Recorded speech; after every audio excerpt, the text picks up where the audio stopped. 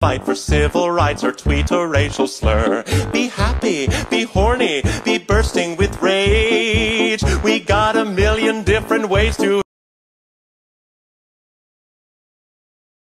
Fight for civil rights or tweet a racial slur. Be happy, be horny, be bursting with rage. We got a million different ways to